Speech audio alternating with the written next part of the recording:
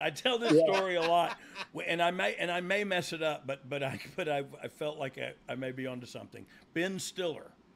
What Yes. did we do with Ben Stiller? We got high with him in the parking garage of uh, one of the buildings. The Okay. only time I ever got in trouble in WWE was when we heard Yoko died. Me, Yeah. Brian, Kid, and Godfather went out to smoke one for Yoko in the parking garage. Yeah. So we're all like, "Oh, we got away with it." We come back in. Jr. calls us in. He's like, "Oh, you guys smoking?" Like, what? No, why? No. He goes, "You guys were smoking right under the camera in the parking garage." The security guards watched the entire thing.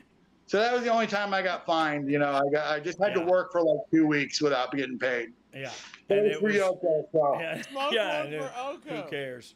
Yeah. Who cares? Take my money. That's how I always felt when they were just finding then me. two I was days like, later, "Oh, J, yeah, two days later, Jr. asked me to get him some weed because him and Dan were going on. I was like, really? And you're still gonna fucking not let me get paid? yeah.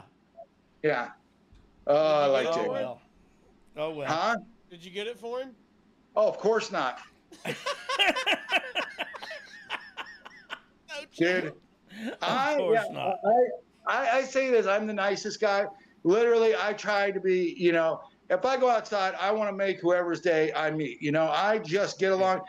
I, I get these interviews and people talk to me at conventions. They're like, "Oh, what'd you think of?" You know, "Oh, what'd you think of this guy?" I was like, "I loved him." Oh yeah, well, what about this one? I was like, "No, I loved him." You know, it's like Yeah, literally, yeah. I got along with everyone. You know, and it didn't help. It didn't hurt being six seven, three hundred pounds, and having Henry on my side either.